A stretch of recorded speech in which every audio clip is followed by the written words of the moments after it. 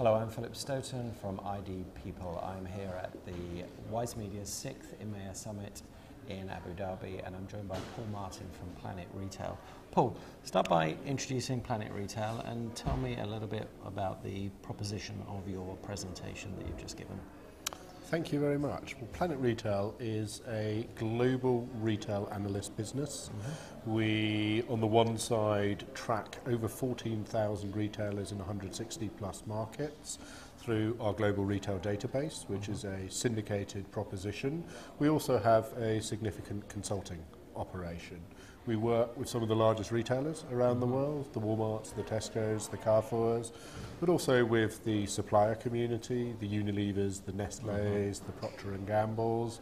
On top of that, the financial services and professional services community is a very large customer base for us. Mm-hmm. So any clever research you see uh, put out into the market by the leading consultancies, the data source is often Planet Retail. Right. And last but not least is the retail technology community, the right. IBMs, the NCRs, the Datalogics. Mm. These guys will all use our service to, at the end of the day, understand retail better right. and sell more of their services into or their goods sector. into that sector. Okay, and in terms of your presentation today? So my presentation today really focused on the multi-channel environment and how retail is really changing significantly mm-hmm. at this point of time. I made a very, very clear point that retail today and over the next five years will see more change than it has done over the last 100 years. Right. And it's challenging for mm. a retailer today.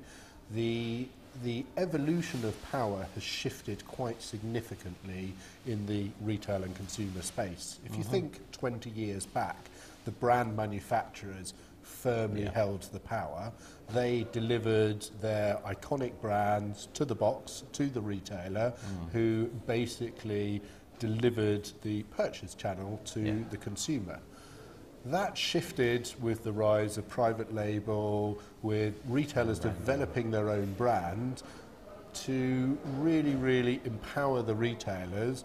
And we saw a really significant battle for mm. the shelf. Yeah. Now, online has changed that, and the shift of power has gone away from the retailer very firmly into the hand of the consumer. Okay. And the next generation today is really all about the shopper. Mm. And we deliberately use the word shopper, not consumer, because the shopper is the individual that makes the purchase decision. Yeah. And if, as a retailer or as a brand manufacturer, you don't understand the shopper, and a shopper is in purchase in purchase momentum in every single different occasion of their life, you will really, really struggle to survive in today's retail environment. Okay, and in terms of you know, the um, power shifting into the hands of the shopper or consumer is attracted to me as a, as a shopper or consumer, so I quite like that. But um, in terms of what impact that has with respect to technology and the kind of things that are being talked about here with respect to security, traceability, all of all of those things. I guess the dynamic of online and and traditional retail is, is what's changing that the most.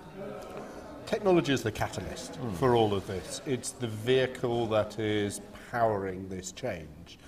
And retailers, brand manufacturers, service providers, they need to utilize technology. So technology, I would say, is is is not the business objective. It is the catalyst mm. that is empowering this change.